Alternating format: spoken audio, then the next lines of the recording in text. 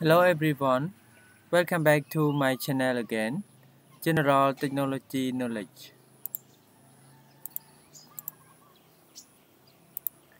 Today I would like to show and share about how to create the new program for uh, control the motor for forward and reverse.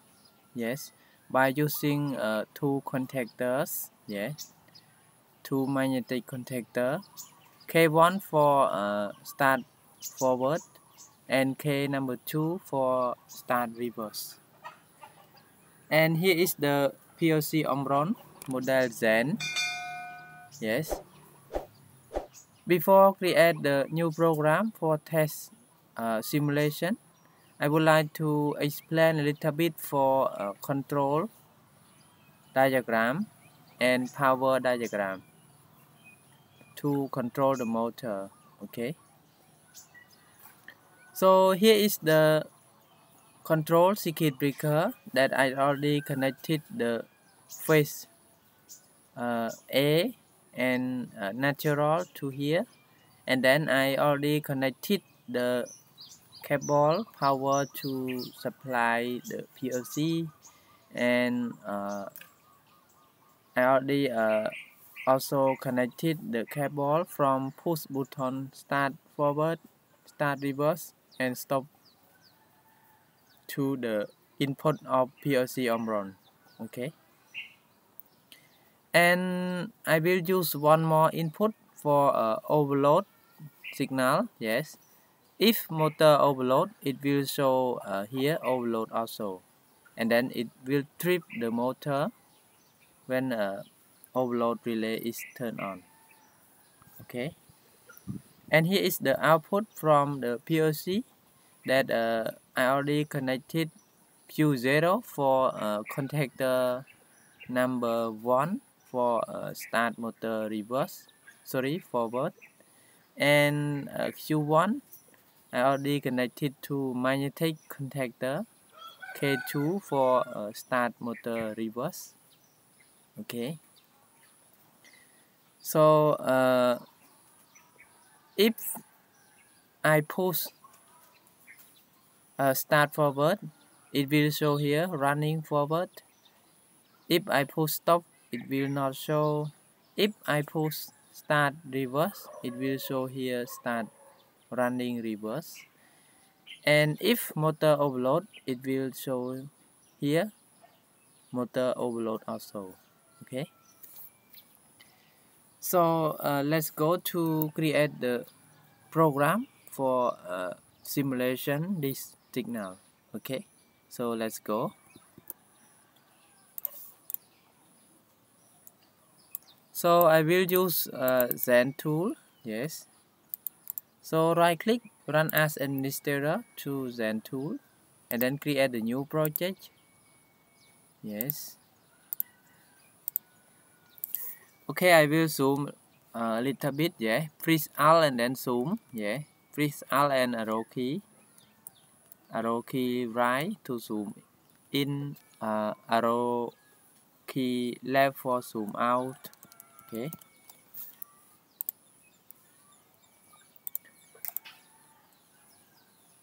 So uh, first I will create the start command yeah by using i0 yes. So start command. I will use i0 yes start. Forward. Fw it means that uh, start forward. So when start forward yes. When start forward it will let Q0 is turned on, right? So Q0, okay, Q0 is turned on.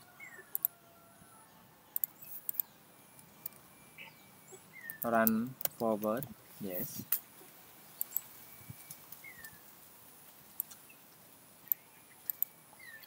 Then I will hold the signal, yes.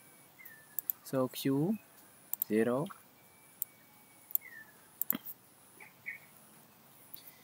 and if I push stop right? If I push stop let's see here. The stop button I already connected to I2 right? So when I push I2 yes. So I number 2 stop.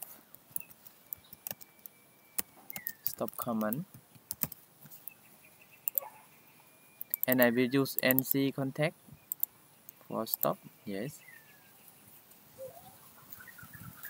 When I push I0 Q0 will turn on and then hold the signal by uh, this contact. And if the Q0 is uh, turned on then I will show on display here the motor will uh, show start or running uh, forward. Yeah. So I will use D for display for show here for uh, motor run uh, forward. Okay. So I will use D0 for uh, run forward.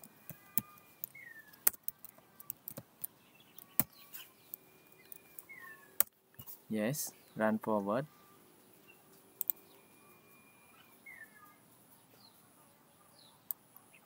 Right? Here is run forward. And if I push stop yes. If I push stop it will not show right? Okay. So uh, I push when I push stop I will clear the take right? So maybe here.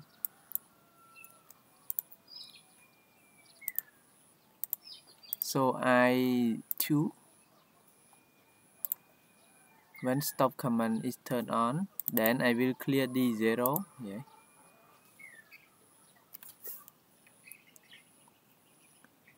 Clear D0 yes to here for clear operation. Yes. Okay. So let uh, simulation a little bit for test.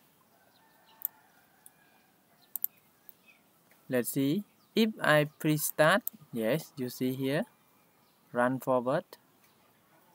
If I push stop it will clear the text right? Okay.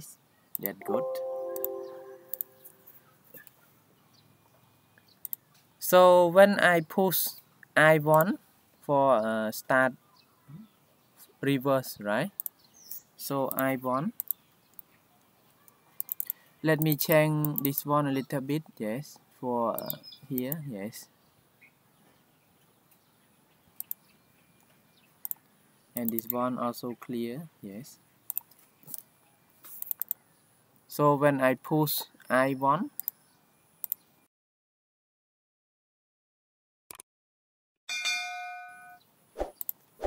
reverse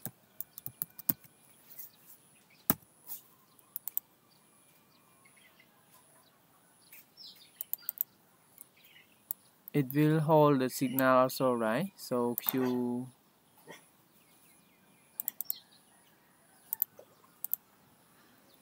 So Q1 yes.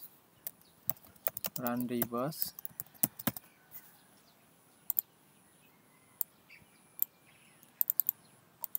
and hold the signal. Yes. And if I push stop it will stop also right? And let D1 is turned on for uh, show.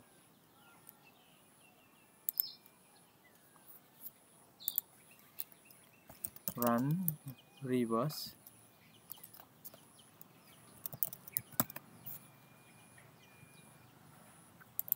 yes.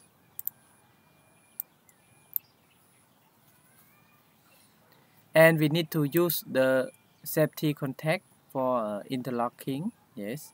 If q0 is turned on not allow uh, q1 is turned on. And if q1 is turned on we uh, don't allow q0 is turned on. So let choose the safety contact. Yes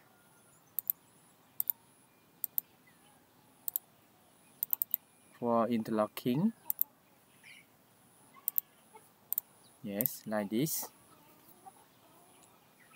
And then if I push stop it will clear the text also right? So clear the text use uh, D1 yeah clear the text to here. For clear the text. Okay good. So let's simulation again so if I push forward it will run forward. And if I push stop it will clear. Run reverse yes. Push stop it will clear yes. That's good. So uh, one more for uh, motor overload right? For motor overload we use i3 yes so when i3 is turned on yes i number 3 is turned on yes motor overload. Yes it will show overload also right? So I will use uh, set auxiliary contact for set motor overload. Com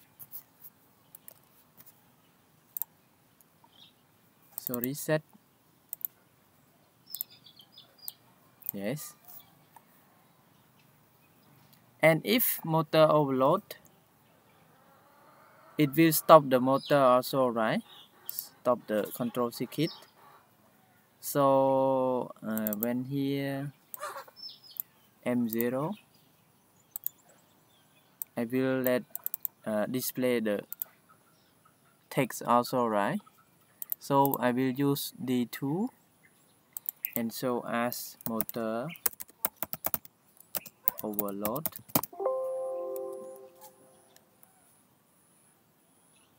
Or uh, overload. Yes.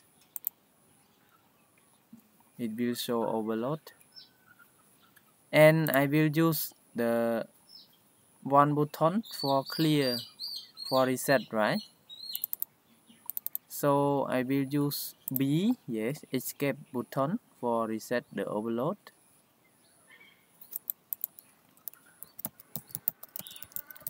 Overload yeah reset overload. Then I will clear yes I will reset the M0 right? And I also clear the text of D2 right? For clear the overload. Yes.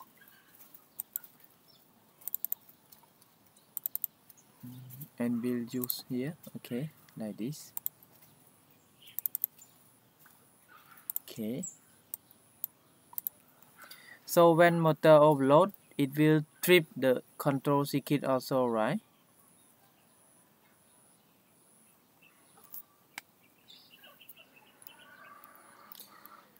so I will use uh, one more for uh, internal memory for uh, reset yes or stop the motor. So when I number 2 is turned on yes let me insert one more rung.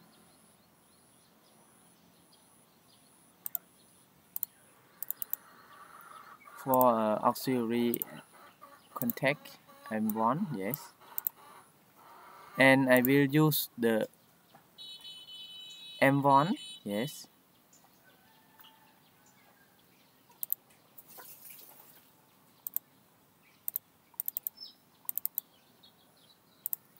Here M0 yeah when M0 is turned on it also uh, stop the motor right so here I will instead by M uh, 0 sorry M1 and see this one also. Yes. So when motor overload it will uh, stop the circuit also right control circuit yes. Okay let's simulation again to see the condition. So right now when I push forward it will show forward yeah running forward. When I push stop it will stop. When I push uh, reverse it show uh, reverse and if motor overload I will use uh, yes contact like this. When motor overload it will trip the circuit right? No uh, should turn on. And it will show overload. So when I press reset yes reset the overload it will not show okay one more time. If I push run forward yes. When I stop when I push reverse it will show reverse. When I push stop yes. When I start forward and motor overload it will trip yes. And I can reset. Okay so uh, here is just uh, example for create the sample program for start motor uh, forward and reverse of a three-phase motor okay? And so uh, the stator on the Zen display also so thank you very much for watching my video. And if everyone have any question please drop comment also on my video. I will reply soon. And I would like to request all of you to like share and subscribe my video also to get more notification and more new video that I will create step by step. So I hope my video is very useful for everyone yes. And if I have mistake I would like to say uh, I'm sorry yes because my English is not so good. And in this time I would like to say thank you very much again and see you next videos. Bye bye